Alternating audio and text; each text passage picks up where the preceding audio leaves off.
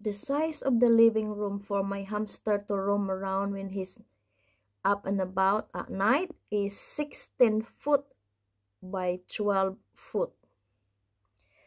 So for people out there who say and make a comment about I abuse my animals, this is just for you to see.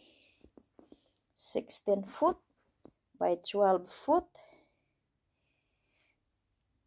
that's his little hut, his sleeping quarter, his little play area there, every corner of the living room. Okay? I put a mirror down there because when I fall to sleep, at least he don't have to go into the hallway, to the kitchen, and in the bedroom.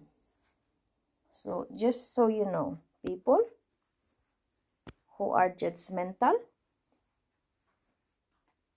imagine a 16 foot by 12 foot. Can you afford to do that? So please don't judge me okay? Don't even utter a word that i am an animal abuser because this hamster has got everything.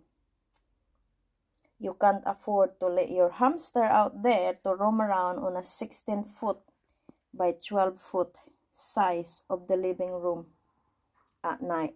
You put them in a cage and that's all you ever do in your life. So don't judge me, okay? I hope you get that.